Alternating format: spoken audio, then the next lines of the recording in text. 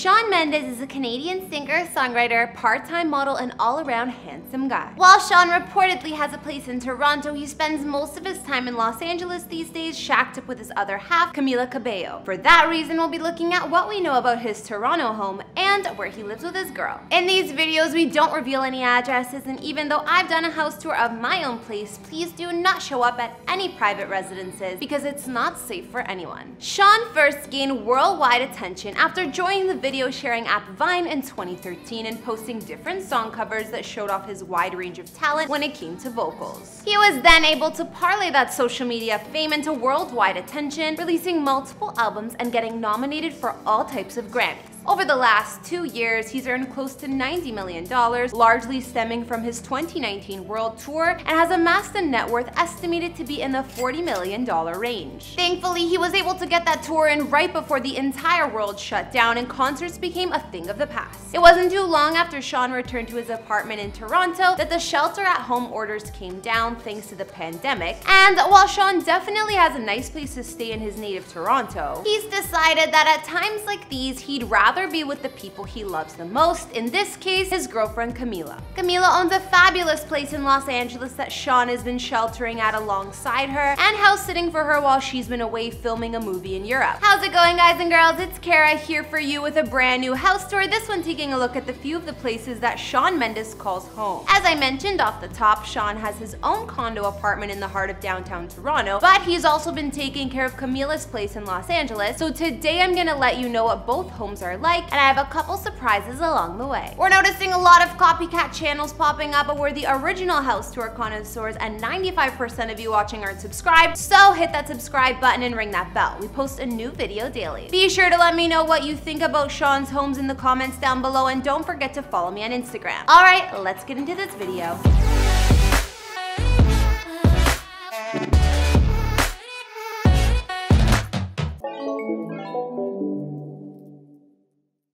Becoming famous while still in his mid-teens, it took Shawn a little while to strike out on his own, but when he did, he bought himself a condo in the heart of downtown Toronto. Now anyone who's ever lived downtown in a big city knows that what you're paying for when you buy a place isn't so much the square footage. That's gonna be small no matter what, especially with a starter condo. What you're really paying for is the view, and at least in that regard, Shawn struck it rich. Shawn actually provided that pic of his place himself while chatting with some of his fans on Twitter. He was asked how cozy is your apartment right now on a scale of 1 to 10. And he responded with that photographic proof. So what do you guys think? Cozy, yay or nay? Let's take a quick look around the room and try to determine. In the corner of the room, Shawn has his guitar perched on an armchair so that it's always available for quick access when the mood strikes, which I assume with him is often. He's also got the mood lighting cranked up to 11 with that soft lighting coming from the ceiling, and then the serene ambiance of the strategically placed candles at different areas of the room. His coffee table is about as neat and orderly as they come with its stack of magazines, a tabletop plant, and the finishing touch of a fruit bowl. What do you guys think, real fruit or fake? Looks like real bananas to me, but Shawn's gonna wanna stay on top of those.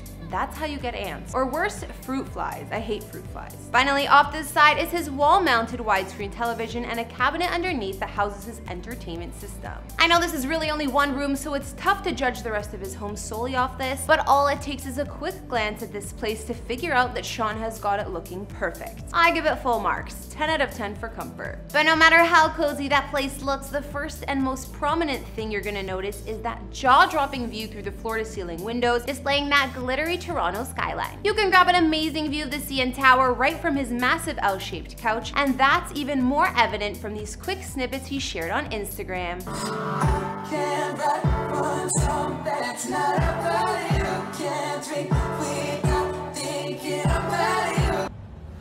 Wanna see my house? It's really dark in here. Thanks to that last clip, we also now know that his kitchen is directly across from his living room with its chandelier lighting and separated by what looks like a decent sized wooden dining room table. Unfortunately, Shawn must like to lounge around in the dark because that's about all we can infer from that clip. Let's hope he knows his way around that place with his eyes closed and he doesn't bump his toes into anything. Both Shawn and Camila recently appeared on One World Together at Home, a primetime special that raised awareness for the worldwide pandemic. They performed a duet of the song What a Wonderful World, seated at a grand piano in a room full of some great ambiance. It's kind of difficult to tell whose place that is, but there's no doubt that their decor is on point with some fantastic pieces of art hanging on the walls. The only giveaway I can find is that much like with the previous photo, Shawn has candles set up all around the room, so I'm gonna go off on a limb and guess that they're inside his place. Now, before we head off to check out Camila's home, I wanted to give you guys one little surprise. While I was in the process of making this video, I got tipped off by a friend that knows the building where Shawn's condo is located, so I thought I'd head down there and give you guys a taste of what it looks like on the outside. All right, Kara was supposed to film this part of the video, but I am passing the area. It's not far from where we live, actually.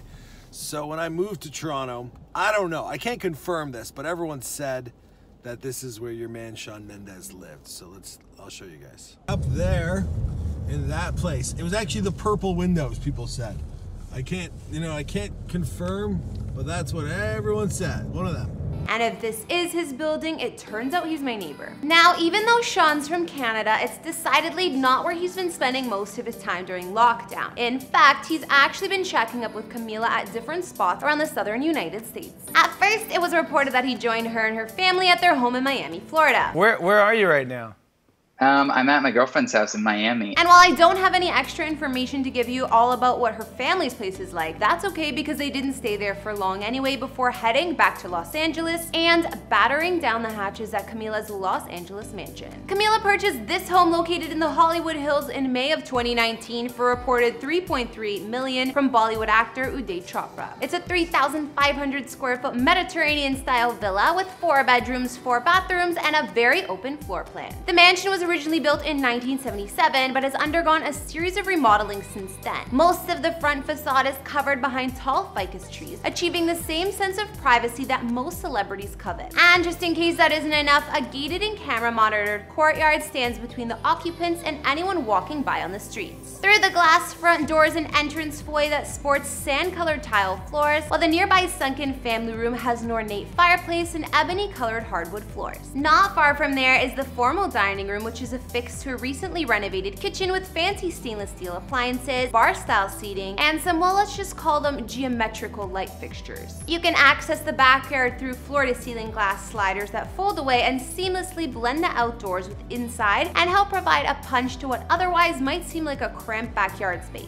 And while the backyard might be small, Camila hasn't spared any expense when it comes to decking it out. She's got a fire pit, a separate fireplace lounge, a saltwater plunge pool, and an alfresco dining area. The entire backyard is also surrounded by high walls and leafy hedges to keep any prying eyes out. Meanwhile, all the bedrooms upstairs are en suites and the master bedroom has its own fireplace, hardwood floors, his and her sinks, and a soaking tub. Despite only having been together for about a year and a half now, Shawn and Camila are practically joined at the hip. Not only has he followed her around from place to place, ensuring that they remain isolated together, he's also house sat for Camila when she's had to travel overseas to work, like her most recent role in the upcoming version of Cinderella. Speaking with the Kyle and Jackie O show, he told them, I don't have a house in LA, I live in Canada, so I'm house watching. I just basically use the utilities and sleep in the bed. That's really my version of house sitting. Shawn and Camila have been without one another for close to two months now, and he can't wait to have her back.